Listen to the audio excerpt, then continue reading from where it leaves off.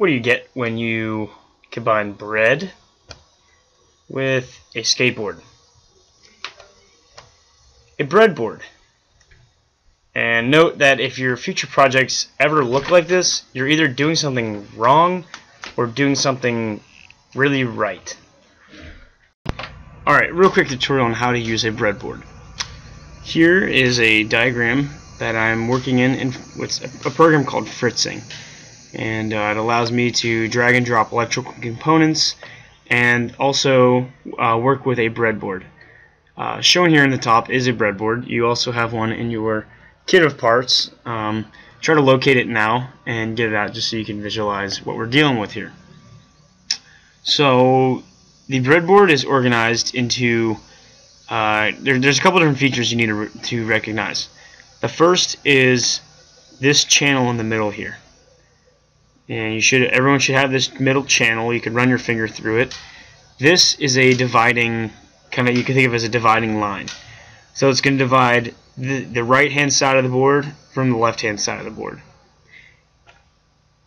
The main breadboard area is this the central part and it has you'll see numbers on the side uh, I don't know if does this diagram have it yeah this diagram does have it if I zoom in here you can see see where it says one so here's like here's uh, row one two three and these are this is just fritzing drawing uh, wires for okay but these wires actually don't make any sense and I'll show you why because the rows in our breadboard in the center part are connected. So this point right here is already con connected. A is already connected to E. A is already connected to B, C, D, E. So what's what's actually happening is under this breadboard are a bunch of strips of metal. And so when I plug a wire in, I'm actually see how those yellow uh, dots light up. I'm actually connecting not only this point to this wire, but all of these points are connected to this wire. So say I, uh, well let's just do an example. Say I want to make um, a connection to the Arduino. I could connect it, so let's say, to pin 13, uh, which is our, remember that's our LED, our LED pin, right? And so if I want to connect an LED up, let me see if I can find the LED here. Light emitting diode. Do they have a basic light emitting diode I can use?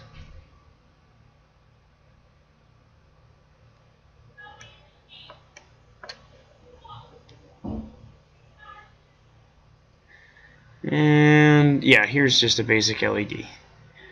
So we're going to stick that guy in there. And we also need a resistor. Uh, we're not going to specify what uh, value of resistor resistance yet. Huh, still searching. Okay. I'm not going to specify what type yet, but let's just do a quick wiring diagram of what it would look like if I want to wire this LED up.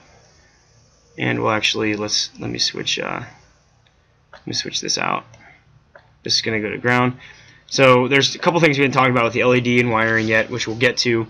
Don't worry about that now. I just want to show you what a basic circuit looks like and how it's wired together. So you can see uh, the ground pin is connected to the LED, so we have a complete circuit here because I connect it to row 1 and the LED is connected to row 1 and row 2. So the ground is now connected to row 1 and then it goes the electricity goes through LED into row 2 and then the resistor is connected on two sides one to row 2 and one to row it looks what row is this? Looks like row 6 okay? And then also connected to row 6 is this wire which comes around to pin 13 so we have a complete circuit here uh, using the breadboard. And what might be easier and this is maybe not uh, not exactly easy to see, but there's some different views here that you can use in fritzing. Um, and anyone can go ahead and get this program too. Uh, this is a free open source program. Just type in fritzing uh, in Google and you should be able to find it. But here again you can visualize just the complete circuit that we created without the breadboard now. But obviously you can see there's a start point and an end point back into the Arduino. So the other thing to note about the breadboard is not only is it divided in the middle by its rows, but it also has columns. You can see these columns on the far right and left hand sides, and you'll notice um, Fritzing knows that I'm using the columns. It's kind of a nice program. When I click in a column, notice that all of the other dots in the column, all the other slots that you can put wires, light up in yellow. And so that's just letting me know that anything I connect on, you know, say I connect something to a circuit on this side of the column, I can also connect things here and they're all part of the same thing. So one thing that makes this useful is say I want to uh, supply power to my Arduino. What I will do is get a battery. Okay. Get a battery pack here. And what I can do is let's wire something. Uh, let's just wire in. You can wire things in parallel here. Uh, uh, excuse me, in, in series. We'll just light an LED uh, directly from. This is what 3 volts. We'll light this LED up from 3 volts directly. So I'll, I'll put my LED over here. So remember, uh, we want to we want to have it. So a common make mistake people make. So let's rotate this 90 degrees. So this does nothing, right? If I connect a resistor, I'm just I'm just connecting to the same row. That's does not do anything. So that's all I wanted to show there. All right, we'll put you back. So wait, I want to uh, I'm going to complete the circuit. I want to put the battery in here. So, let's see if we can add a bend point. Good. Okay. And we will uh, supply. So again, uh, and what's nice about these columns is that they're uh, labeled red and blue.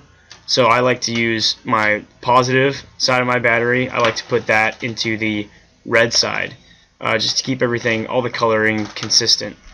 Um, and you'll find that this is very helpful, especially when you want someone else to look at the work you've done on a breadboard.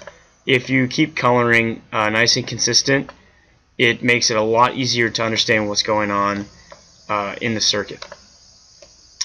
So I connected my battery up to the what we call rails. We call this the positive and negative rails of the breadboard.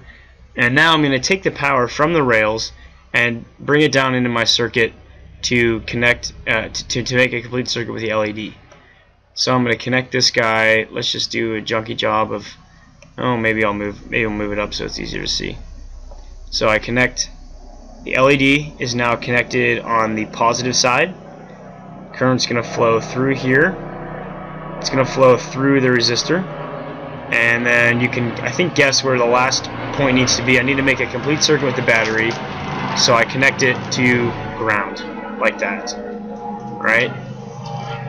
And that's it, pretty much.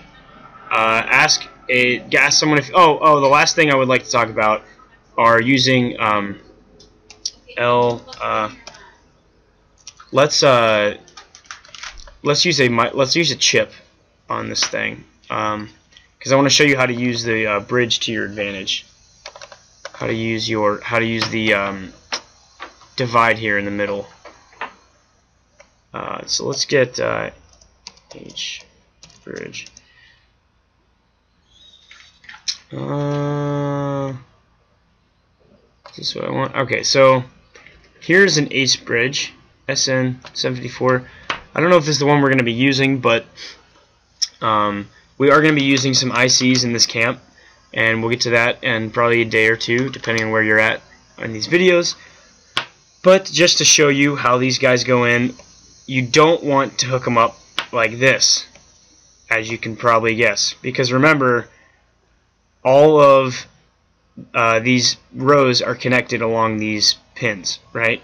And so what we're doing, these chips, you'll you'll you'll be more familiar with these chips as we move along. But each one of these pins has a different function. All right, one of them could be to supply voltage to the pin. One of it, one of them could be, you know, an input or an output. So you don't want to mix the pins like this. If you connect it to the breadboard, it's gonna it's gonna connect the, the right side pins to the left side. You want to keep them all isolated, which is why they have this nice divide here in the middle of the breadboard, so you can connect chips across like this, and then you can wire them up on this side individually and you can wire them up on this side individually alright so that is a basic uh, intro to the breadboard uh, please ask if you have questions or if you're unsure of something because now it's going to get real easy to start damaging equipment if you wire something wrong. So be confident but also do not be afraid to ask questions. We're here to help you and so are your teammates